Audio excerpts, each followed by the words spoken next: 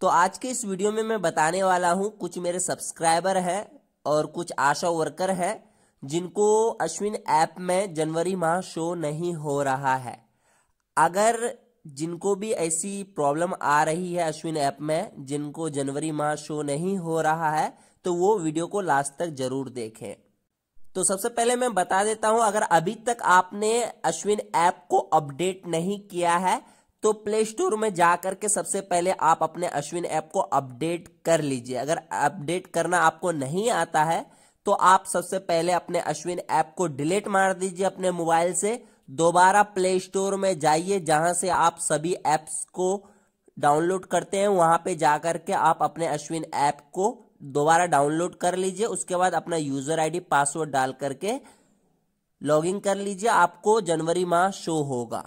अगर आपने अपडेट कर लिया है तो अब आपको बता देता हूँ कि जनवरी माह कहाँ पे शो होगा और कैसे शो होगा। तो देखिए, सबसे पहले आपको अपने अश्विन ऐप को ओपन कर लेना है। तो देखिए, यहाँ पे दिया है वित्तीय वर्ष। इस पे क्लिक मारना है। यहाँ से आपको 2021-2022 सेलेक्ट कर लेना है। उसके वित्तीय महीना में क्लिक मारना है। तो देख सकते हैं, यहाँ पे अप्रैल से लेकर दिसंबर तक दिया हुआ है 2021-2022 वाले ऑप्शन में।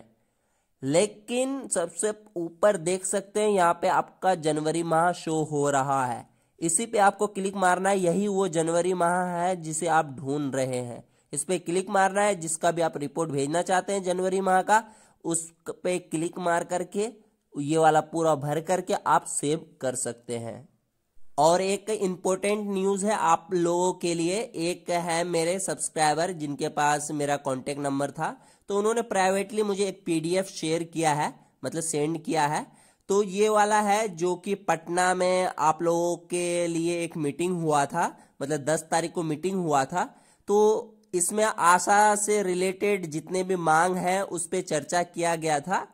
इस पे मैं कल वीडियो बनाने वाला हूँ तो उस वीडियो को आप लोग ज़रूर देखना, क्योंकि ये वीडियो आप लोगों के लिए बहुत ही इंपॉर्टेंट होगा, ताकि आगे चल के आपको ज़्यादा से ज़्यादा मदद मिल सके। तो आई होप का अब आपको अश्विन ऐप में जनवरी माह मिल गया होगा, और साथ ही मैं ये जो कल वीडियो बनाने वाला हूँ, इस मीटिंग के बारे में जो मीटिंग हुआ था, जिसमें आपके जितने भी मांग थे, उस पर चर्चा हुआ था तो उसको देखना मत भूलिएगा।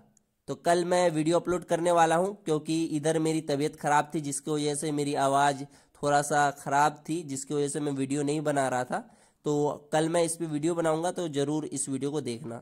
तो फिर मिलते हैं दूसरी वीडियो में, तब तक के लिए बाय बाय